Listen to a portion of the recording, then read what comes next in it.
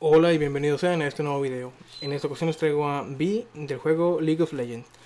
Como ya saben, en la descripción del video está la información de todos los materiales que utilicé para hacer este dibujo. Espero que les guste, así que empecemos.